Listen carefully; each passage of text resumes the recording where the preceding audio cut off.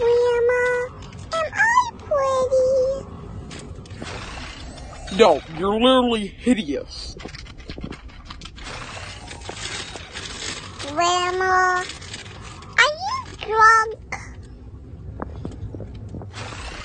No, I only had eight margaritas. Is it okay if you drink a beer? No, sweetie.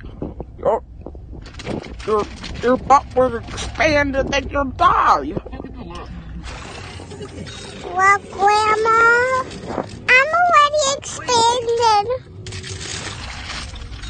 Just take some scissors and cut off your finger. Are you sure you're supposed to do that, Grandma? Guess nobody's going to afford it.